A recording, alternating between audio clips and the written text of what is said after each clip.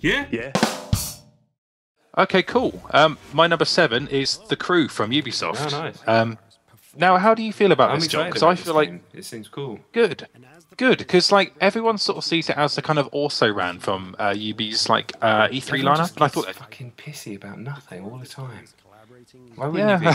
you be? I mean, it might be shit, but uh, you know, it sounds good. I don't think it will be. No. The handling is.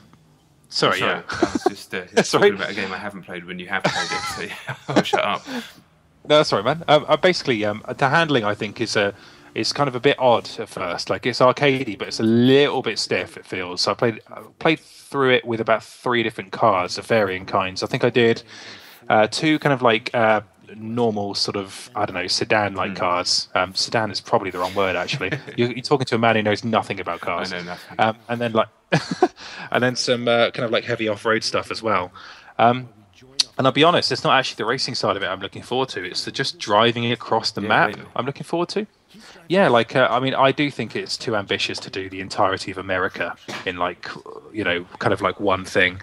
Um, but uh, in terms of like to do that kind of with kind of really de- in a really detailed way, that's tricky.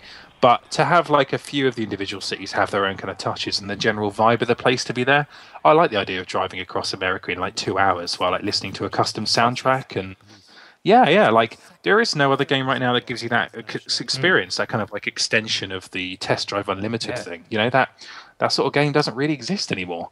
Um, the last time I think I, I kind of enjoyed something like that, I suppose, was probably Forza Horizon. Yeah, I love that game. Um, yeah, so I suppose there'll be a bit of that uh, with the sequel, but this will be different to that. I think in terms of like style, it really is kind of feel like a, a kind of it's an RPG in in a, in a kind of really sort of like fiercely traditional sense. It's weird, like all of the kind of uh, vehicle parts you collect from completing races and and like uh, team related events and stuff like that is treated as loot and you are kind of on a basic progression system with like real levels that that do just make it feel like an RPG that just happens to have cars in it, which is a bit weird. But I quite like the combination of stuff in there. Like I, I think the exploration side of things, along with that, makes it suddenly feel like not a traditional racing game, and that its appeal might actually be a bit broader than a than a racing game.